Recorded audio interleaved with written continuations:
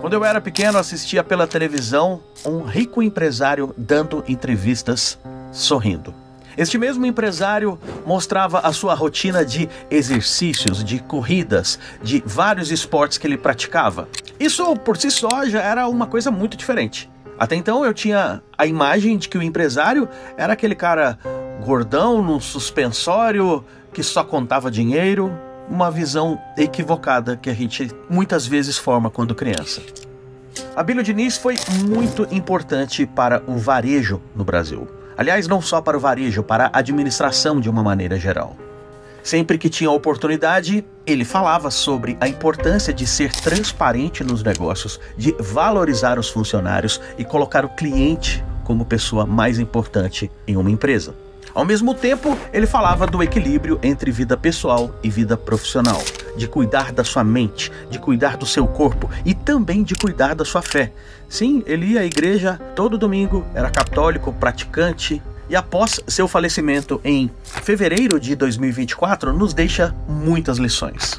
Lição número 1. Um, resiliência e persistência. A carreira de Abílio Diniz foi marcada por muitos altos e baixos, incluindo crise econômica, sequestro, disputa familiar, e apesar de tantos desafios, ele nunca desistiu.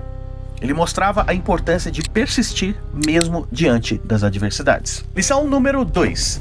Visão de futuro e inovação. Abílio Diniz foi pioneiro em muitas práticas no varejo brasileiro. Até hoje, muitos supermercados copiam inovações que foram implementadas no pão de açúcar. Algumas dessas inovações têm a ver com técnicas modernas de gestão. Lição número 3: a importância da saúde física e mental. Abílio Diniz também é conhecido por sua paixão pelo esporte e pelo bem-estar. Ele sempre enfatizou a importância de ter um equilíbrio saudável entre corpo e mente para o sucesso, tanto na vida pessoal quanto profissional. Lição número 4: gestão participativa. Ele acreditava no potencial das pessoas. Sob sua administração, ele incentivava a colaboração e o envolvimento de todos os funcionários nas decisões. Ou seja, é muito importante valorizar e capacitar a sua equipe. Lição número 5: Compromisso com a educação e desenvolvimento pessoal. Abílio Diniz investia constantemente na sua formação e desenvolvimento pessoal, além de incentivar que seus colaboradores também fizessem. Em seu aniversário de 80 anos, ele reuniu com familiares e amigos para comemorar, para celebrar, mas também para pensar em como as pessoas podem ser mais saudáveis.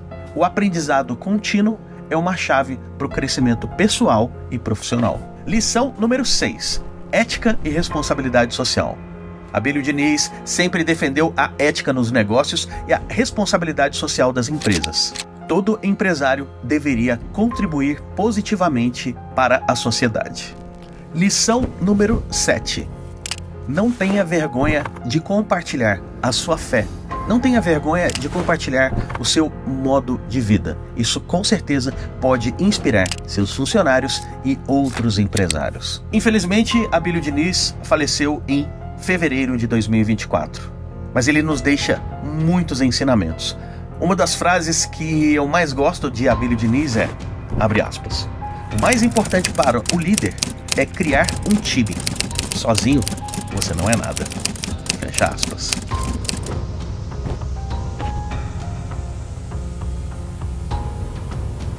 Eu sou Leandro Branquinho, especialista em vendas, e você está no canal Líderes Vencedores. Se você gostou desse vídeo, clica na mãozinha com o joinha para cima e compartilhe esse vídeo com um amigo. Grande abraço e grandes vendas.